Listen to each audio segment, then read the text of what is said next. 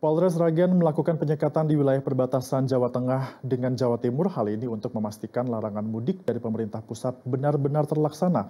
Hingga kini tidak kurang dari 100 kendaraan dipaksa putar balik karena ditengarai mengangkut pemudik.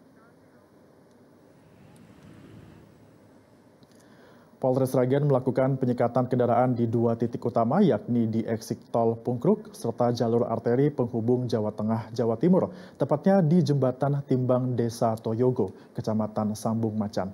Petugas juga memasang papan dan rambu peringatan di beberapa titik untuk mencegah pemudik dari arah Surabaya menuju Jakarta. Para pengendara diarahkan ke eksit tol Pungkruk untuk dilakukan pemeriksaan. Jika dalam pemeriksaan ditengarai adanya pemudik kendaraan dipaksa putar balik ke tempat asal. Hingga kini sudah ada lebih dari 100 kendaraan yang diminta putar balik, baik itu bus penumpang, mobil travel, ataupun mobil pribadi.